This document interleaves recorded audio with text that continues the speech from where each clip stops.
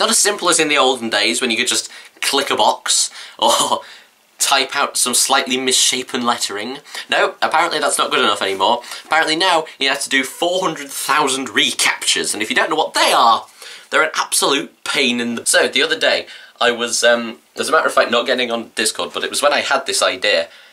I was actually uh, very...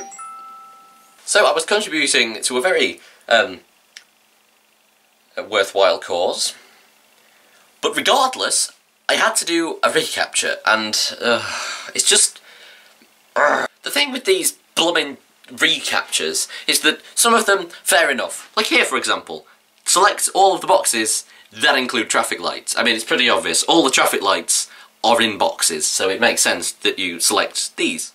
And that's fair enough. But then you get ones like this, which is like, the traffic lights, like, just tiny little bit border over into some of the next boxes. So is it this? Or is it this? It just... Uh, the ones that they border slightly over into, do you select them or do you not select them? It's just... Uh.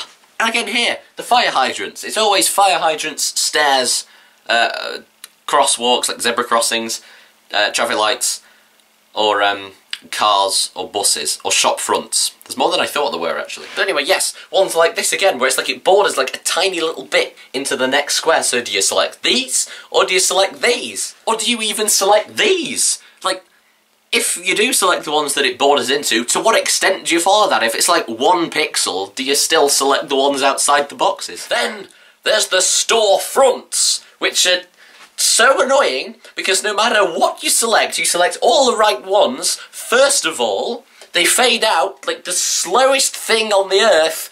They just spend like half an hour fading back to white to fade in with another one that you just have to click on and go through the whole process again for absolutely ages. But then, no matter what it is you click on, even if you click on exactly the right ones because it was obvious, you go again and it says, please try again. What did I do wrong last time to facilitate having to try again? As you can tell, these really annoy me and it wouldn't be that bad if it wasn't for the fact there are just so blooming many of them when you want to log into anything. Plus, then, what happened the other week when I finally got it to work and I got the tick, you are not a robot, thank you, but as you can see, I took this with my phone, not with a screenshot, because by that point I spent so long doing it, I jammed the entire Linux system. I had to unplug the USB and start completely again.